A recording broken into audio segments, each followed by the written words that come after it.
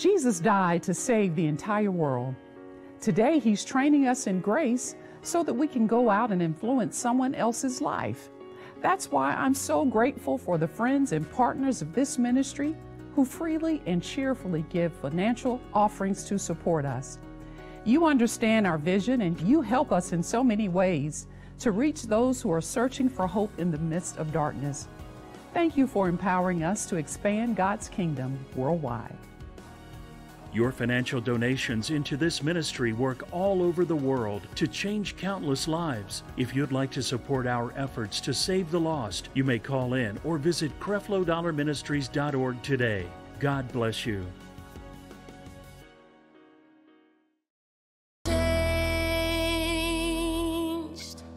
Uh, let's take it just a, a little farther here now. Uh, the life and, and, and the fact that believing is the condition for receiving life, you see that clear.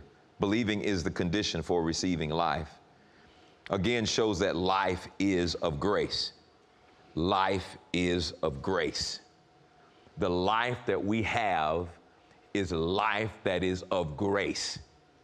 We keep trying to figure out how we can take credit for the life that we have. The life that we have is of the grace of God. Amen. All right? And so it is of faith. Romans 4:16. Let's go there. It is of faith that it might be by grace. I, I, I'm going to show you, and I think you already see it. There, you, you can't separate faith from grace. You already see this. And, and we, we, we, it ain't no such thing as, well, the grace folks say that and the faith folks say that. If you got one of them, you got the other one. You can't, you can't separate this. Look at this. He says, therefore, it is of faith that it might be by grace to the end the promise might be sure to all the seed, not to that only which is of the law, but to that also which is of the faith of Abraham. You, you, you cannot have, he said, believe that you have this life. Uh, Believe that you have this life through the name of Jesus.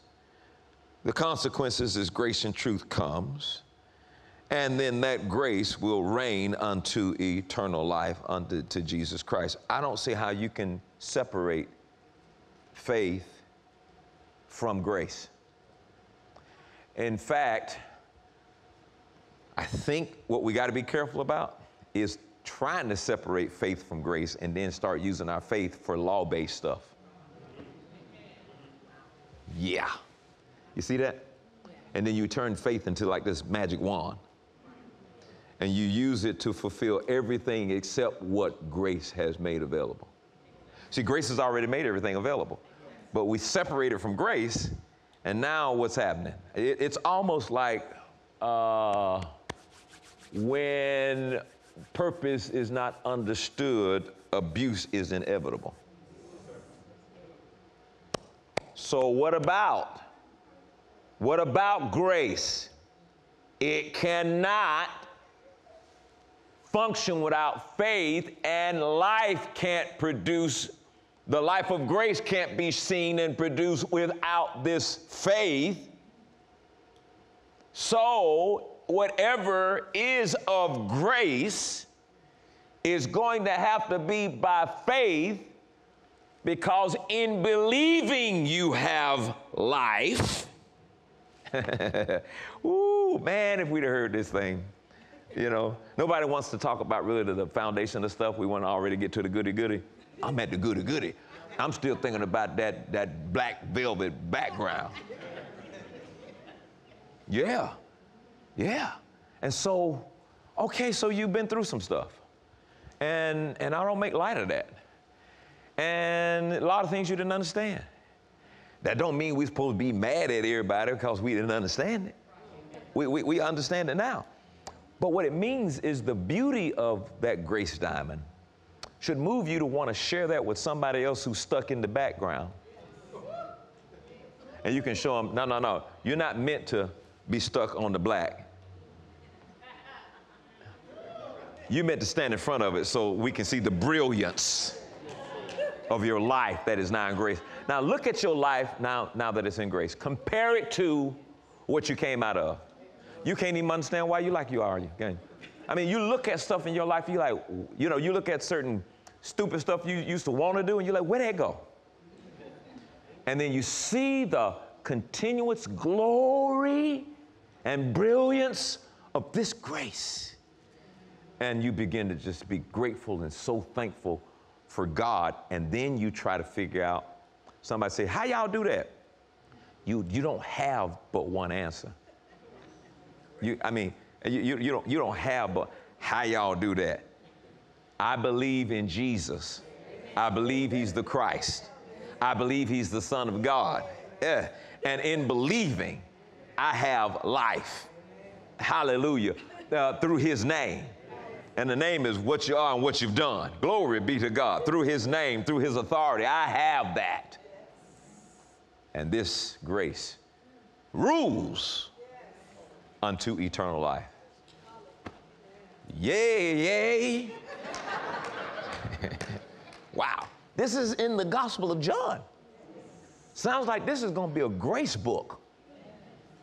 You're going to learn probably some things about the, the gospel of grace in this book that's just going to absolutely just blow your mind. So, grace and truth is, is, is what we're looking at. Now, I want to remind you of something here. Go to 2 Corinthians 3 and 7. I need you to remember that the law given through Moses, look at what they call the law that was given through Moses. You ready for this now? Watch this. But if the ministration of death, written and engraven in stones, was glorious, all right, so let's stop just for a moment now. What was written and engraven in th- stones? Well, you had those 10 in, engraven in stones, and then you had the rest of them in, in tablets. Remember, it was trying to keep the Ten Commandments through the administration of rules. Okay? Nothing wrong with the Ten Commandments. The problem was you were trying to perfect it through rule keeping. So somebody says, throw the Ten Commandments away. No, no, no, no. The Ten Commandments without the Holy Spirit is going to minister death. And that's what happened. Now go back and read the Old Testament. People died for all kinds of reasons. They, you better not touch the bottom of the mountain. Touch the bottom of the mountain, you got dead folks everywhere. better not complain. I mean, there were like, what, what, 40 some thousand people that fell dead for complaining. What if that was today? I'd be preaching to myself for 10 minutes and then I'll join you. Are y'all following what I'm saying? Let me remind you, he calls it the ministration of death. That which was written, all right, what was written and engraven, okay? So together, they're the law. But then we take the moral side out, the Ten Commandments, it's perfect, it's flawless, it's, it's all that, but it's too perfect for fallen man to try to keep something like that through keeping rules. So you say, all right, uh, the way I'm going to keep law number six is I can't do this, I can't do that, I can't eat that, I can't do that, I can't eat that, gotta wear you know, a long dress, can't wear no pants, gotta do that. And then they were hoping by, by ma- making it mandatory that you keep all the rules, that somehow it would bring to pass the morality of the law or the, or, or the Ten Commandments. So what changed was, is we went in the New Testament and we found out there was a better way to do this because everybody was dying. Everybody was dying. I mean, nobody could keep it. Everybody was dying. Everybody in the wilderness was dying. And he was just like, dude, we got to do something, but we ain't not going to have nobody. Okay? And the only reason they did the law in the first place because they were doing crazy stuff. There was no standard or nothing. I mean, brothers killing brothers, and they're like, well, we, got to put some kind of standard in place until we can get, get this thing going. But it, it wasn't like that surprised God. God wasn't progressively doing things, He already had it all. Figured out. it, it wasn't even figured out. He, he, he allowed what happened to happen because he knew when you when man fell in the garden what had to happen to get him back right he wasn't responding to how you was acting you go cut somebody out well i guess i got to do this to him now because they did that no no no no he, he, he, he called the end from the beginning yeah. Yeah. Yeah. We, we still get this idea that Whatever God's doing, He's doing it as a result of what you did. Ah, I said it. I said it. You do. You do, because I thought that. Well, He's doing it as a result of what of what I did. No, no, no. He done already did what He done did. What you do ain't gonna change what He done already did, and has already made provision for whatever you do.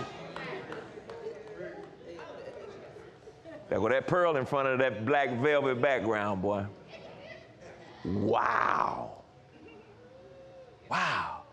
So, law by Moses was called the ministration of death. And that's exactly what happened.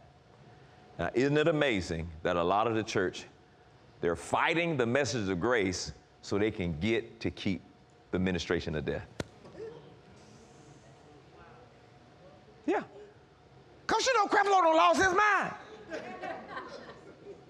Telling them people they can just go and sin without consequences. Well, first of all, I ain't say that. That was wrong right now. People talking about what somebody done said and they don't even know what somebody done said. Hush your mouth. You, you, you're, you're fighting to operate in the administration of death. Now, how did he correct it? He says, I got a better covenant with better promises. So here's what we're going to do. I already know you can't keep none of this. Okay? So ain't no use me trying. So I'm going to take Jesus, who can keep all of it, and you're going to go in, all y'all going to go in on his ticket. But it's going to require you to believe in the Son of God, believe that he is the Christ, in order for that to happen. Because you ain't going to be able to do it by yourself. You can't do it by yourself. It ain't gonna work. He the only way in. Because you got some stains somewhere. Everybody say somewhere. Somewhere. You got some stains somewhere. They might be hidden stains. You know some of them stains. I, ain't, I ain't gonna go there. You, you, you know. Some of them stains you gotta have the brush and the Clorox and, and I don't, I, and, and, because I think we miss this foundational teaching, this progression here, you, you see that there's no way your involvement can fix something that's perfect. So he said, I'm going to send you my spirit, and the Holy Spirit is now going to be, be the new administrator for morality. And so Paul comes along, he says, It is still good, children, for you to obey your parents. Okay? Somebody says, well, there go the Ten Commandments right there. No, no, no. What he is saying is, it's still good for you to obey your parents, but I'm not dependent on you to do it in your own effort. I am here to help you. That's why God poured me on the inside of you. And the first thing I did is release the, the love of God on the inside of you. And now you're going to know how to do some stuff by, by, by intuition. You just know that's wrong without reading no scripture. You just know you're not supposed to do that without reading no scripture. And that, that's what happened, I think, was with uh, Joseph. Uh, let me see. Yeah, yeah Joseph was um, uh, as a, a, servant at his, um, yeah, Potiphar's wife. And, uh, and, and she came on to him, you know, uh, cougar, how, you know. And, and, and, and she came on to the young man. And when she came on to the young man, here's what he did. Watch this. Watch this. It ain't read no nothing. Watch this. Watch this. He ran.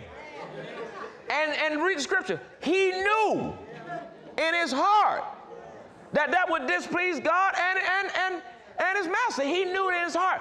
That's what he said. In this new covenant, this is going to be a hard thing. I'm going to write my laws on your heart and write them in your mind. And you ain't got to teach you what is true or not. you going to know in because I'm going to be in there. And by intuition, you going to know that you know that you know that you know. Ooh. Boy, what a time we going to have in this thing right here. Okay. So, under the law, uh, works replace grace. If you back up, Romans chapter 11 and 6, works replace grace. And religion is based in works replacing grace. And that's what's going on in churches right now works replacing grace. So if if that's a part of the law, then you are frustrating the grace of God. Imagine, let me, let me bring where we are now. You're trying to do something for somebody for free, and they keep trying to work for it. Isn't that frustrating? Yeah. Oh, no, no, no, I'm gonna do I'm gonna do oh, I'm, I'm gonna give you a lift. No, but take this $5. I know you need some gas. No, I, I, I wanna do it for you. No, just go ahead and take it. Look, I gotta go. you're, you're frustrated because what you're trying to do for no cost, they feel like they need to do it so they can feel better. And, it's, and, and, and what they're wanting to do is motivated by guilt. So you know it, it's not there. So we have to have a whole reset. When the Bible says repent, for, uh, for, for the kingdom of God is at hand. Re, re, he, actually, what it says, repent and believe the gospel. For the kingdom of God is at hand. Repent means to literally change your mind or change your thinking about what you used to think about. So, what happens when you have, you know, you got one side preaching, all right, so here's how we ought to be living. No, no, no, no, no. You got to talk about hell. You got to talk about hell. Why? We don't plan on going. Why we got to talk about hell? You plan on going? Well, you talk about hell. I'm talk- I ain't planning on going. You need to know nothing about hell. Why? Because since I've been under grace, we, we, we good. Ain't nobody going there but somebody who want to go there. You trying to say ain't nobody going to hell? You might be going to hell, but we're not going because we believe in Jesus and now we have eternal life through his name. Praise God. And we got grace and truth. Hallelujah. And this grace rules unto eternal life. So why need to be talking about hell?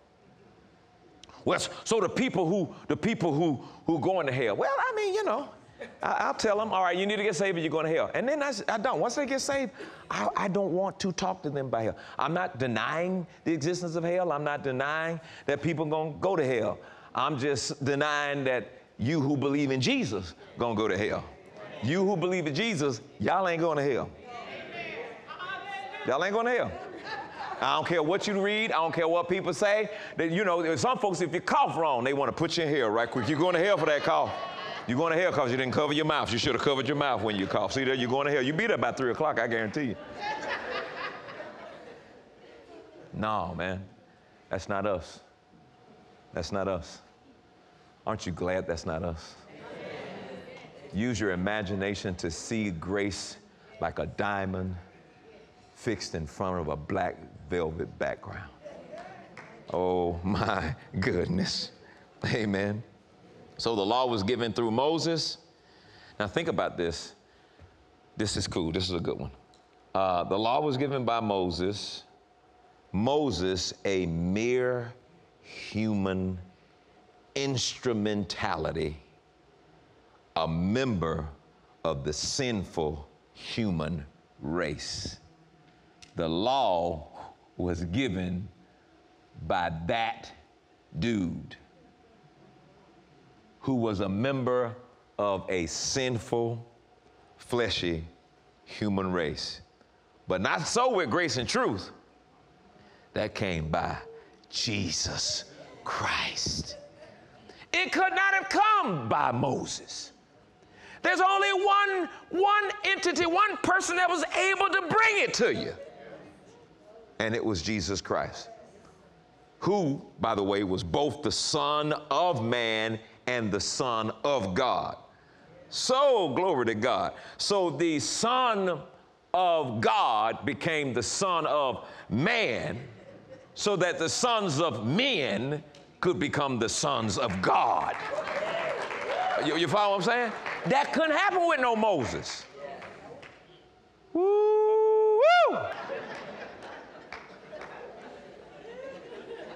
Mm, mm, mm. So these two persons are elsewhere contrasted. Moses and uh, Jesus, all through John, you'll see the contrast. You know, that's all Jewish people talk about what the law of Moses said. And Jesus even had to say, but yeah, but I say unto you. Okay. So you're going to see the contrast there. Um, you remember, what is this, Hebrews 3 and 3? Go to Hebrews 3 and 3. Let's read verses 3, 4, 5, and 6. So we can see something here. I'm, I'm almost done. He says, For this man was counted worthy of more glory than Moses, inasmuch as he who hath builded the house hath more honor than the house. Verse 4 For every house is builded by some man, but he that buildeth all things is God. Come on, 5. And Moses verily was faithful in all his house as a servant for a testimony of those things which were to be spoken after. Number 6. But Christ, Christ as a son over his own house. Whose house are we? He says, We are of the house that Christ is over. If we hold fast, look, look what he's talking about holding fast to the confidence and the rejoicing of the hope firm unto the end. You know what he's asking us to do? Don't let go of your believing. Hold fast. Have confidence. I'm the righteousness of God. Have confidence. I have grace and I have peace from Jesus Christ.